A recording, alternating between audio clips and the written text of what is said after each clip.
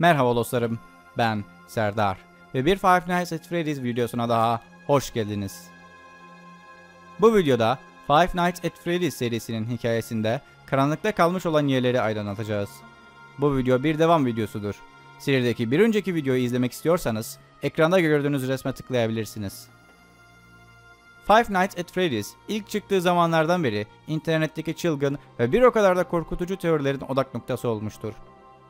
İlk 3 oyunun çıkışından sonra bile hala cevaplanmaya bekleyen sorular, çözülmesi gereken gizemler vardır. O yüzden serinin ilk oyunundan beri bu gizemlerin merkezinde yer alan Golden Freddy hakkında birkaç şey açıklayarak başlayalım.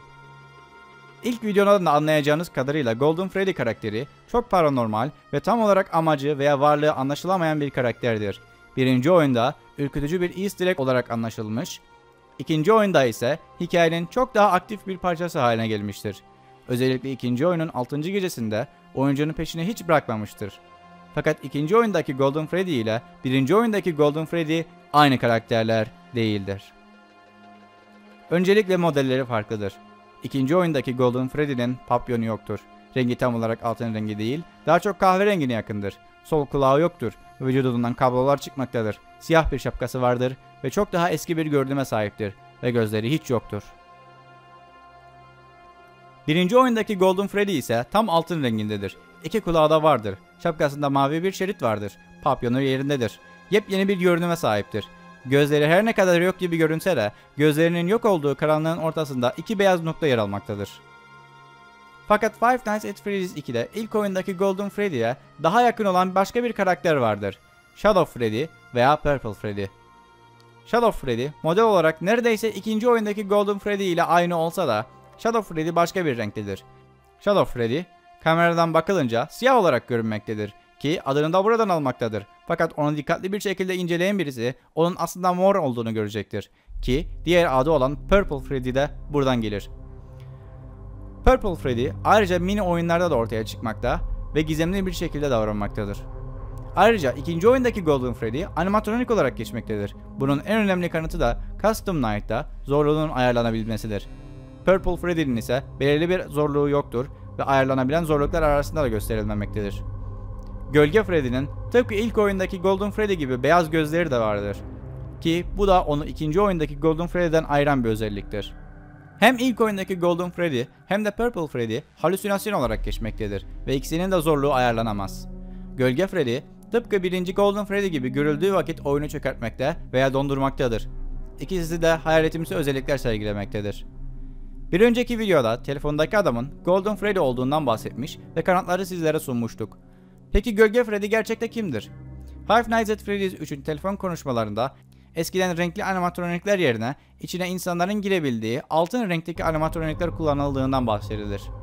Yine 3. oyunun 4. gecesinde bu altın kostümler kullanılırken kaza yaşandığı söylenir. Yani paranormal özellikler sergileyen Gölge Freddy eskiden Golden Freddy kostümünü kullanırken kaza geçirmiş ve animatroniğin içinde hayatını kaybetmiş bir çalışan olabilir.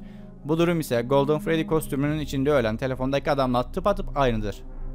Oyunun en büyük tartışma konularından biri de hiç kuşkusuz 87 ısırığıdır. İlk oyunun ilk gecesinde telefondaki adam tabii bir de 87 ısırığı var. İnsan beyninin ön lobu olmadan hayatta kalabilmesi inanılmaz bir şey diye konuşur. Bundan da tabii ki bir animatronin 1987 yılında bir insanın başını ısırıp beyninin ön lobunu kopardığı kolayca anlaşılabilir. 87 ısırığı tartışmasında cevaplanmaya çalışılan soru bu ısırığı kimin yaptığıdır. Bunun için Five Nights at Freddy's 2 oyununa gitmemiz gerekir. Oyundaki telefon konuşmalarından anladığımız kadarıyla telefondaki adam yani Phone Guy hala hayattadır. Halbuki ilk oyunun 4. gecesinde dinlediğimiz kayıtta öldüğü anlaşılmaktadır. Animatroniklerin ikinci oyunda gündüzleri serbestçe dolaşabildiği söylenmektedir. Fakat birinci oyunda ise animatroniklerden bu özellik kaldırılmıştır ve sadece gece vakitleri sessizce dolaşabilmektedirler. İkinci oyundaki telefon konuşmalarından gelen sesler daha kötü kalitededir. Bu da teknolojinin daha eski olduğunu gösterir. Ayrıca ilk oyunda olaydan 87 ısırığı diye bahsedilmesi ilk oyunu 1987 yılının sonrasında geçtiğine işaret eder.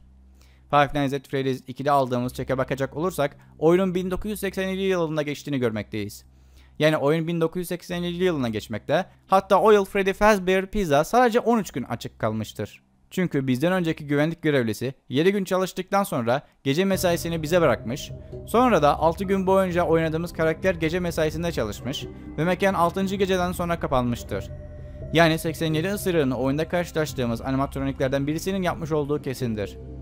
Mangle'dan çıkan radyo seslerini dikkatli bir şekilde dinleyen birisi onun aslında polis çağrısı yaptığını anlayacaktır. Yeni oyuncak animatroniklerde yüklenen programları da hesaba katarsak, Mangle'ın polis çağırabilme özelliği de onun yazılımının bir parçası olacaktır. Mangle'ın gönderdiği mesajda burada bir çocuk var, ön lobu yok demektedir. Bu mesajla ön lobu kopan insanın yetişkin birisi değil bir çocuk olduğunu anlamaktayız. Böylece ön lobu kopan kişinin bir güvenlik görevlisi olduğu teorisi çürümektedir.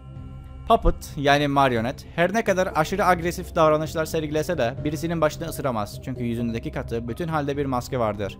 Balloon Boy ise çok küçük ve çok pasiftir. Mangle'da dahil yeni oyuncak animatroniklerin hepsine zamanına göre modern yazılımlar yüklenmiştir. Yani ısırığı eski model animatroniklerden birisinin yapmış olma ihtimali daha yüksektir. Eski animatroniklerden biri olan Bonnie'nin yüzü yoktur. Yani ısırması imkansızdır. Golden Freddy, Freddy ve Chica ise Freddy maskesine tepki vermektedirler. İşte böylece geriye sadece Foxy kalıyor.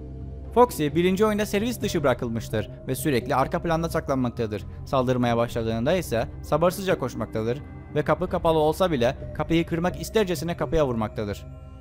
Ayrıca ikinci oyunda ilk geceden başlayarak son geceye kadar sürekli aşırı agresif bir tavır sergilemektedir. Ve siz Freddy maskesini taksanız bile Foxy bu maskeyi görmezden gelecektir. Bu saydığımız nedenlerden anladığımız kadarıyla bu animatronikler arasında en tehlikeli olanı Foxy'dir. Foxy'nin ağız ve çene yapısı ise bir insan başını ısırıp ön lobunu koparmaya yetecek kadar sağlam ve büyüktür. Tüm bu kanıtlar 1987 ısırığına Foxy'nin neden olduğuna işaret etmektedir. Ee, özür dilerim ama bir son dakika gelişmesi için kestim. Ee, Five görünüşe bakılırsa benim e, şu andaki Foxy teorim yanlış mı? Çünkü Five Nights at Freddy's 4'te bir tane mini game var. Ee, bu mini game'de bir tane spoilers geliyor, spoilers geliyor, spoilerlar geliyor. Lütfen şey yapmayın. Eğer e, videolardan öğrenmek istiyorsanız oyunda ne olduğunu gidip videolar izleyebilirsiniz. Ee, sanırım bu mini game'i or mini game'i gördüğümüz videoyu yarın akşam atacağım. Yani o kadar da uzak değil. Bir gün bekleyebilirsiniz herhalde. Emin değilim. Ben bekleyemezdim. Her neyse. Söylüyorum. Ee, bu mini game'de e, 4 kişi çocuğun abisiyle beraber 4 kişi bu çocuğu kaldırıyor ve e, sahnede bulunan Fredbear veya Golden Freddy tam olarak emin değilim. Fredbear diye geçiyor ama Fredbear'ın ağzının içine koyuyor kafasını. Bu çocuğu bir korkutmaya çalışarak yapıyorlar. Ama ve lakin Fredbear'da bir şeyler oluyor. Biraz bir şey ters gidiyor ve Fredbear bunun kafasını ısırıyor. Bir şey daha var. Bir mini game daha var. O da 6. geceden sonra geliyor. 6. geceden sonra gelen mini game'de Freddy Fazbear oyuncaklarıyla falan konuşuyor. İşte Foxy, Chica, ee, Freddy, Bonnie ve de Golden Freddy. Ve Golden Freddy normal oynadığımız çocuğa diyor ki biz senin gerçekten dostunuz hala senin arkadaşınız. Ee, sana bunu yaptığımız için özür dilerim. Hani bu çocuğun abisi ve arkadaşları bunu Fred Bear'in içine atıyordu ve Fred Bear bunun kafasını ısırıyordu ya. Bunun için Golden Freddy özür diliyor ve e, seni baştan eski haline getireceğiz diyor. Şunu da belirtmem gerekiyor ama e, sürekli çeliş yani Five Nights at Freddy's 4'teki mini game'lerdeki mekan hani o Fazbear, Freddy Fazbear's Pizza çok çelişkili öğeler içeriyor. Hani Scott Cawthon'ın oyunun yapımcısı bu arada bu. Diğer önceki Five Nights at Freddy's oyunlarıyla çelişkiye düştüğü yerler var. Adam bir yerde ipin ucunu kaçırıyor veya artık biz öyle zannediyoruz. Adamın bilmediği detaylar falan varsa ve adam heyecandan da yapmış olabilir emin değilim. Neyse bunu da bildireyim dedim. E, e, birçok sorumuz şey kaldı. Ama e, bu bütün olayı bir sonraki gizem videosunda cevaplayacağım. Ama şimdi şu an için katilin gerçek kimliğini öğrenmek istiyorsanız e, videoyu izlemeye devam edebilirsiniz. Çünkü e, videonun devamında katilin kim olduğundan bahsedeceğiz. Şimdi ise Five Nights at Freddy's serisinin korkunç teoriler arasında kaybolmuş herkesin cevaplamaya çalıştığı soruya geçiyoruz. Katil kim? Purple Man yani mor adam kim? Öncelikle oyunun ilk gecesindeki telefon konuşmalarına dikkat etmemiz gerekir. Telefondaki adam bizi Freddy Fazbear's Pizza hakkında duymuş olabileceğimiz dedikodular hakkında uyarmaktadır. Bu dedikoduların konusu mekan açıldıktan sonra bizim görev yapmadığımız ilk 7 gün olabilir. O yüzden önceden yaşanan olayların bu 7 gün içinde de yaşandığını varsayabiliriz. Fakat burada konu sadece 87 ısırığı değildir. Burada cinayetlerden söz etmekteyiz. Five Nights at Freddy's 2'nin yine telefon konuşmalarında telefondaki adam bazı trajik olaylardan bahsetmektedir. Bu trajik olay yine 87 ısırığı olabilir. Fakat ısırılan kişinin hayatta kalmasının göz önüne alırsak bu mekanda işlenen cinayetler daha trajik olacaktır. Yine telefon konuşmalarından yeni eklenen oyuncak animatroniklerin yüz tanıma programlarına sahip olduklarını biliyoruz. Fakat yılın da 1987 olduğunu hatırlamakta fayda var. Çünkü yüz tanıma programları daha tam olarak gelişmemiştir. Yani eğer animatroniklerden birisi loş bir ortamda kafasında şapka ve üzerinde üniforma olan birisini 30 yıl önceki yazılım ve teknolojiyle tanımaya çalışırsa detaylı olarak işleyemeyecektir. Yine animatroniklerin karşısına aynı kişiye benzer birisi ertesi gün çıkarsa ikisinin arasındaki farkı anlayamayacak, böylece iki karakteri birbirine karıştıracaktır. Oyunda 6 gece boyunca oradaki işi yeni başlamasına rağmen oyuncak animatronikler oyunda oynadığımız karaktere saldırmaktadırlar. Suçlu kayıtlarına bir şekilde bağlanan bu animatronikler şapkası olan, gece vakti loş ortamda duran, üniforma giymiş birisini gördüğünde onu bir önceki 7 gece boyunca aynı üniformaya giymiş, aynı şapkayı takmış, gecenin karanlığında aynı loş ortamlarda bulunmuş katil ile karıştıracak, ona göre tepki göreceklerdir. Yine telefon konuşmalarında telefondaki adam bu animatroniklerin güvenlik açısından çok gelişmiş olduklarını, hatta oyundaki karakterin onları koruması gerektiği değil, animatroniklerin de oyundaki karakteri koruması gerektiğini söylemiştir. Yani eğer bu oyuncak animatronikler katille karşılaşırlarsa eşleşme yapacaklar. Eşleşme başarılı olursa katile karşı agresif hareketler yapacaklardır. İkinci oyundaki mini oyunlardan birinde Freddy ile Puppet'ı takip etmekteyiz. Puppet'ı takip ettiğimiz yer oyunun geçtiği Freddy Fazbear's Pizza'dır. Puppet'ı takip etmek zorunlu değildir. Fakat mini oyunun bitmesi için şarttır. Mini oyun gece vaktinde geçmektedir ve mini oyunun geçtiği mekan Five Nights at Freddy's 2'nin geçtiği yerdir. Oyuna dolanırken bazen mini game'lerde katili temsil eden mor adam ortaya çıkmaktadır. Mor adama dikkatli bir şekilde bakarsanız göğsünde rozete benzer bir şekil göreceksiniz. Bu da bu mor adam yani katilin bir güvenlik görevlisi olduğuna işaret eder. Aynı mini game'de yine etrafta dolaşırsanız çocuk cesetlerine ve kan havuzluklarına rastlayabilirsiniz. Yani burada cinayetler işlenmiştir. Gece vakti burada olan tek kişi ise güvenlik görevlisidir. Oynadığımız güvenlik görevlisinin kontrolünü tüm zaman boyunca elimizde tuttuğumuza göre de geriye sadece bizden önceki güvenlik görevlisi kalır. Bizden önce görev alan güvenlik görevlisi bir katildir ve birçok çocuğun ölümünden sorumludur. Bu durumu destekleyen kanıtların devamı da gelmektedir. Five Nights at Freddy's 3'te geçen telefon konuşmalarındaki eğitim kayıtlarında eskiden altın renginde animatronikler kullanıldığını ve çalışanların bu animatronikleri işlerine girerek kullanabildiği söylenmektedir. Bu animatroniklerden Five Nights at Freddy's 2'de geriye kalan Golden Freddy'dir. Eskimiş bir görünüme, kablolara ve ayarlanabilir bir zorluk derecesine sahip olması bu teoriyi desteklemektedir.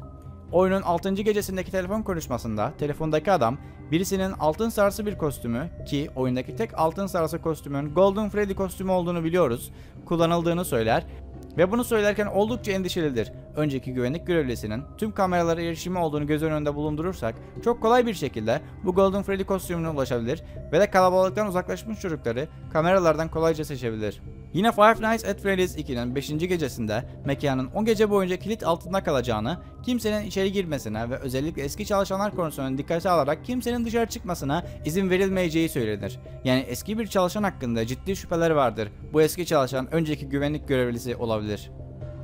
Ayrıca aynı konuşmada telefondaki adam gece mesaisinden gündüz mesaisine geçen önceki güvenlik görevlisinin pozisyonunun boşaldığını, artık oynadığımız karakterin gündüz mesaisine geçebileceğini söyler. Ki bir önceki güvenlik görevlisinin yakalanmış olması bu durumu net bir şekilde açıklar. Bu bahsettiğimiz tüm olaylar bizden önce çalışmış olan iş arkadaşımız diğer güvenlik görevlisinin soğukkanlı bir çocuk katili olduğunu kesin bir şekilde kanıtlar. Bir hafta boyunca mesai paylaştığımız insan bir katildir. Peki tüm bu olaylarla çok yakından ilgisi olan marionet gerçekte kim? Springtrap nasıl bu hale geldi? Gerçekte tek katil bu mu yoksa birden fazla mı katil var? Five Nights at Freddy's 4'ün bizlere sunduğu gizemler, cevapladığı sorular hangileri? İşte tüm bu sorular artık yine bu hafta yayınlayacağım bir sonraki videonun konusu. İzlediğiniz için hepinize teşekkürler. Bir sonraki Five Nights at Freddy's videosunu rahatça takip edebilmek için abone olmayı, Five Nights at Freddy's videolarının devamı için like atmayı unutmayın. Diğer Five Nights at Freddy's videoları için ek açıklamalara tıklayabilirsiniz. Bir sonraki videoda görüşmek üzere.